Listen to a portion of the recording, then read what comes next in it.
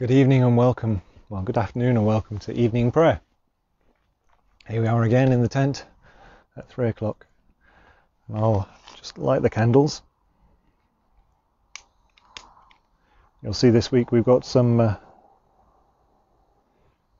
slightly more robust candles. But just don't tell Chrissy. Because I whipped them out from inside the house. See if this one wants to light. There we go.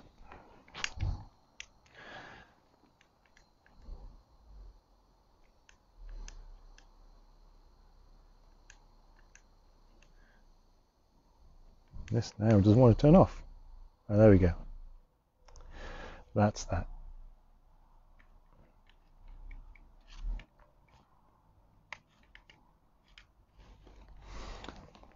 So, shall we bow our heads as we uh, come before the Lord in prayer?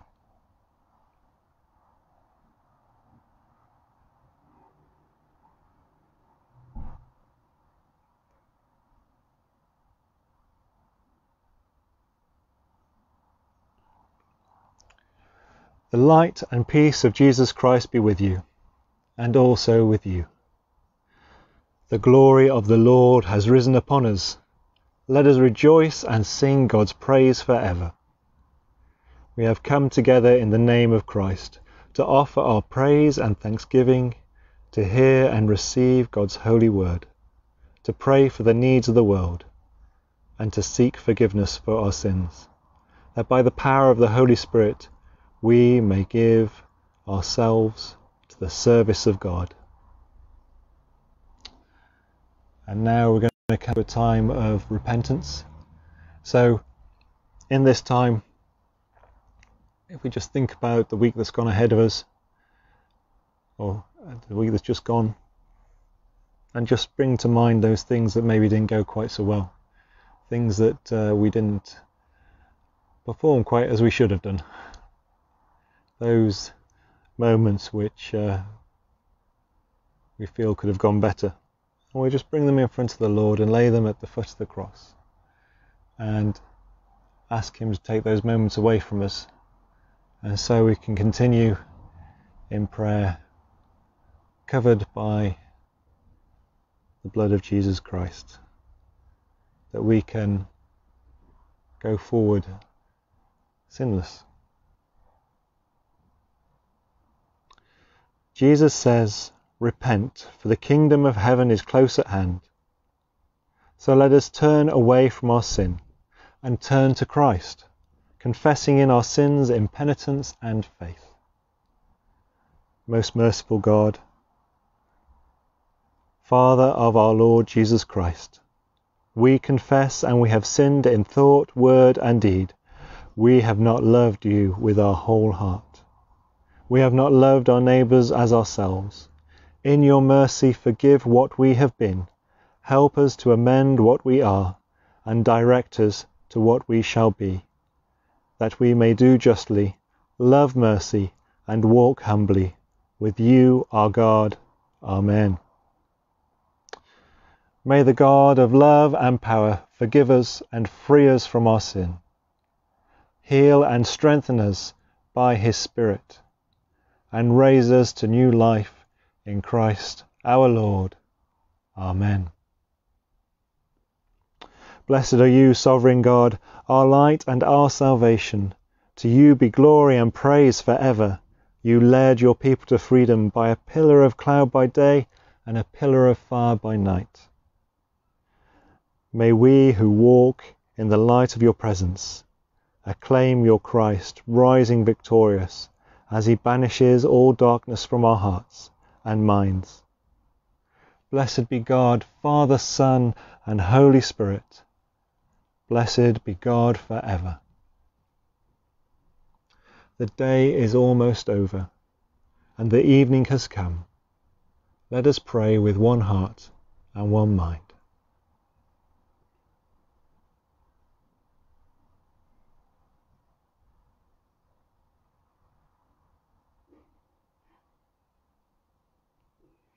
As our evening prayer rises before you, O God, so may your Spirit come down upon us to set us free to sing your praise for ever and ever.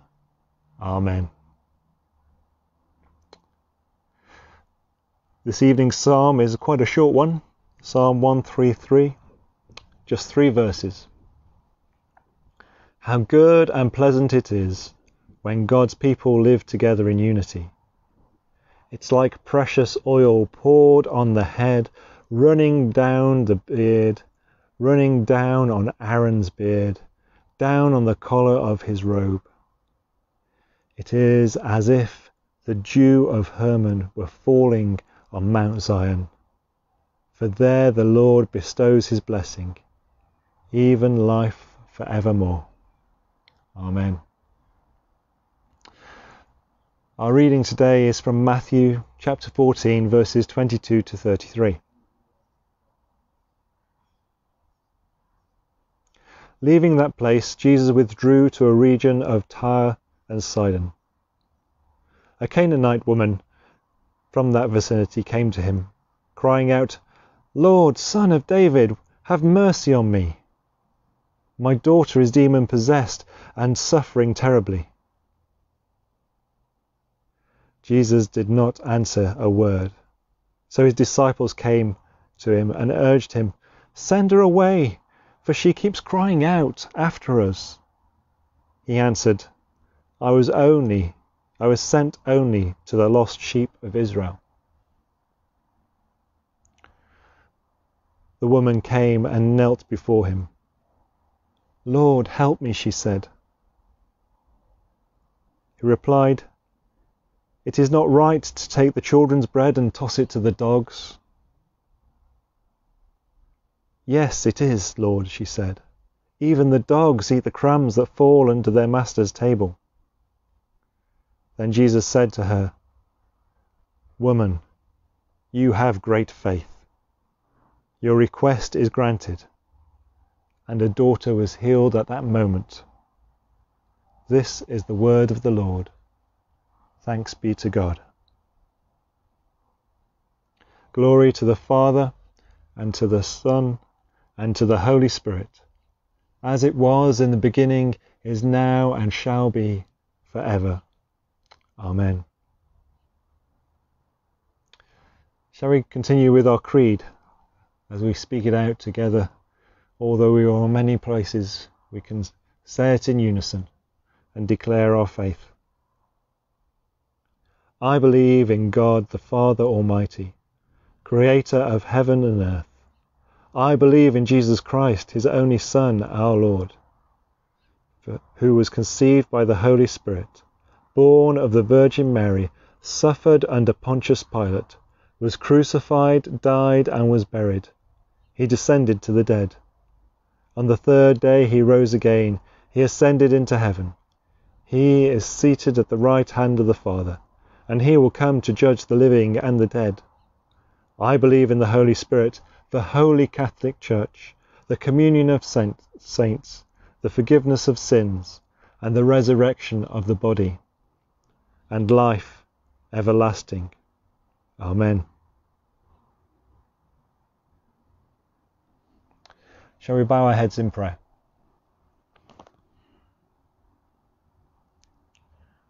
Lord God, Heavenly Father, we come into your presence.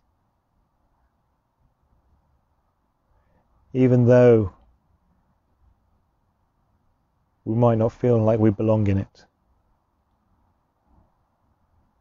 even though we feel far from you. We come into your presence and we seek healing and unity and your peace. Lord God, meet us where we're at. Lord, in your mercy, hear our prayer.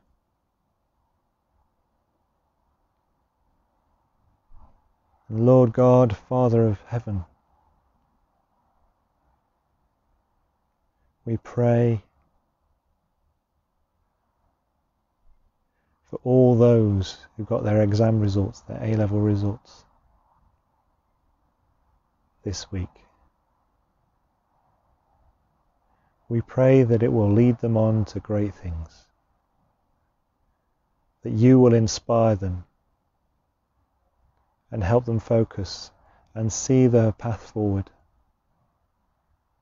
That even though they've got their results under strange times, that these results will be affirming to what they should be doing.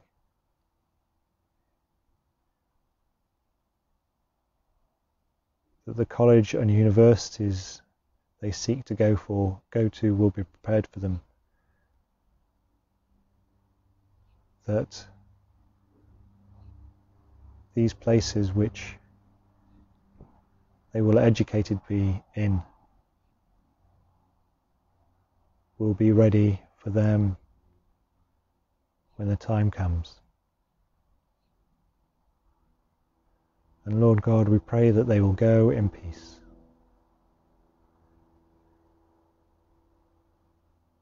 Lord,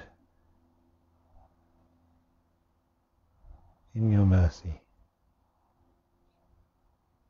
hear our prayer. And Lord, as we think about those countries further afield that are having spikes in the virus, those countries which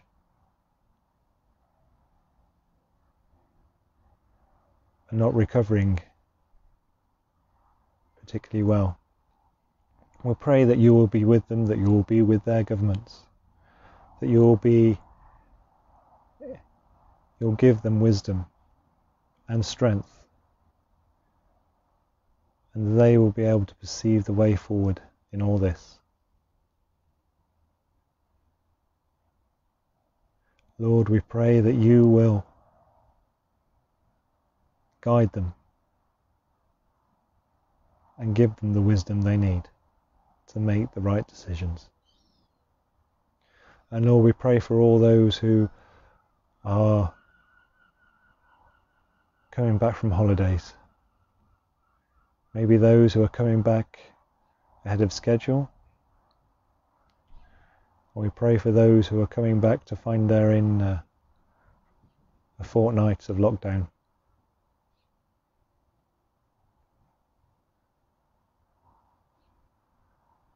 We pray that you will be with them, guide them and strengthen them wherever they may be. Lord, in your mercy, hear our prayer.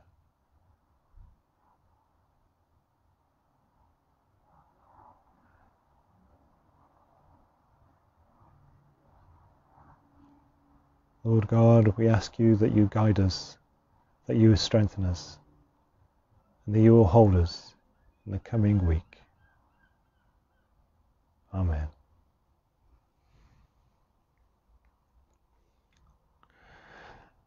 And the prayer for today Lord of heaven and earth, as Jesus taught his disciples to be persistent in prayer, give us patience and courage, never to lose hope, but always to bring our prayers before you.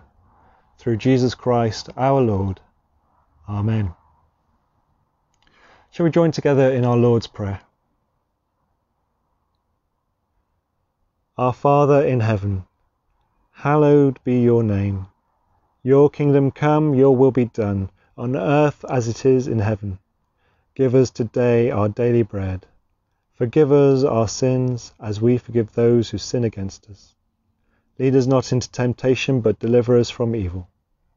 For the kingdom, the power, and the glory are yours, now and forever. Amen. And so, if we look at today's reading, we find Jesus with his disciples. And this Canaanite woman is coming and pleading with him Lord, have mercy on me. Lord, have mercy on me. She's crying out. My daughter is demon possessed and suffering terribly.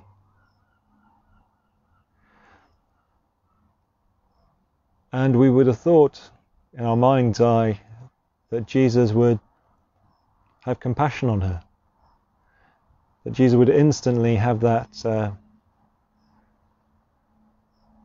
you know, he would look at her with love in his eyes and say, She is healed. But Matthew says something quite different.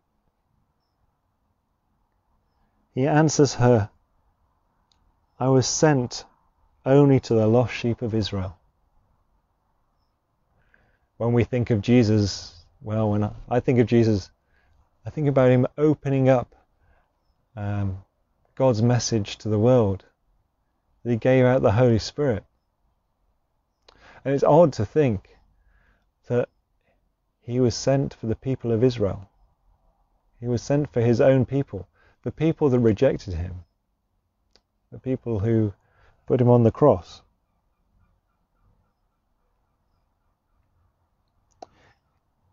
But that's who he was sent to talk to. He was sent to give them hope. He was sent to give them life. And once he'd offered that to them, he could then offer it to the rest of the world through the Holy Spirit, through the apostles' teaching after his death. He couldn't do it while he was alive, but once he had died on the cross and the veil of the temple torn in two, his, the ministry opened up to the ends of the earth. Isn't that wonderful? They opened up ministry of Jesus. But it's a strange thought that it could only happen after his death. But the woman knows Jesus. She's seen his work. She's heard the rumors. She knows what Jesus is all about. And she pleads with him. This is her hope. Her hope that uh, Jesus will heal her daughter. Lord, help me, she says. Lord, help me. He turns again to her and says back, It's not right to take the children's bread and toss it to the dogs. I find it hard to imagine Jesus saying this. I find it hard to think that he could say that to somebody. But he, seems to be testing her slightly. Maybe he knew what she was already going to come back and say. Maybe he wanted the Jews to know more firmly that he came specially for them and not for the Gentiles straight away He came predominantly to give the lost sheep of Israel their uh, the message, the message that to love one another, to put your the living God before all other gods.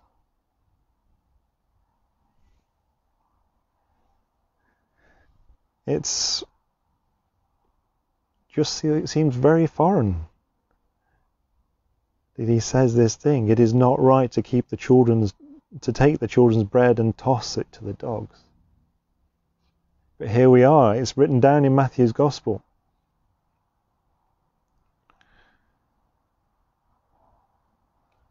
But she says something marvelous in response. You'd expect her to disagree. You'd expect her to say, okay, well, that's fine then. You've come for them. I'm off. She agrees with him. She says, Yes.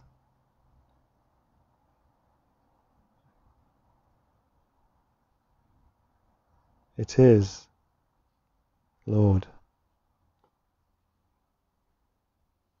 But even the dogs eat the crumbs that fall from their master's table.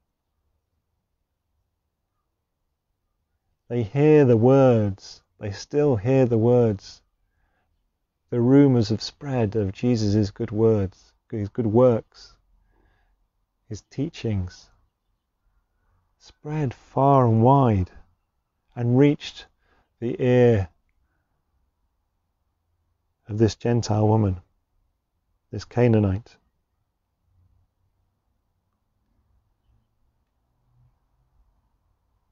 And she's heard this. And Jesus, it's as if he's astounded. Woman, you have great faith. What a wonderful thing to say to somebody. Woman, you have great faith. I would love Jesus to say, Phil, you have great faith. To me. And her reward for her great faith, her reward, reward, that uh, that she's heard the words and she stored them in her heart. Her daughter was healed straight away. This woman treasured what Jesus was talking about, treasured the things she'd heard about him. She held on to everything that he said.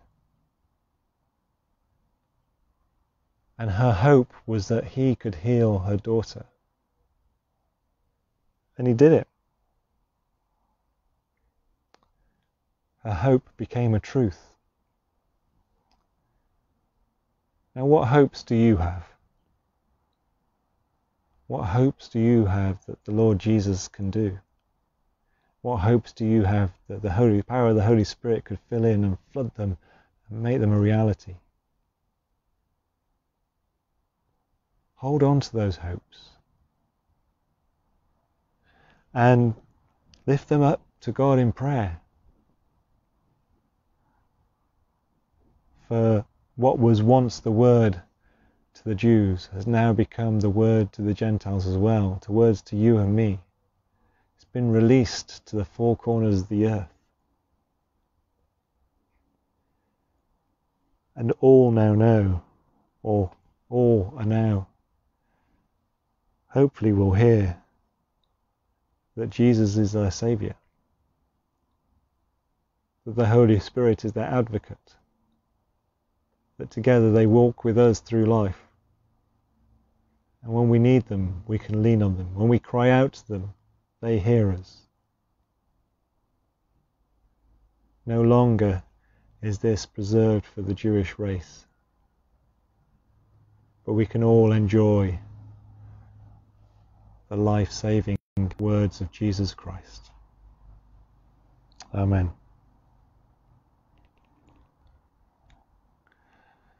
And so,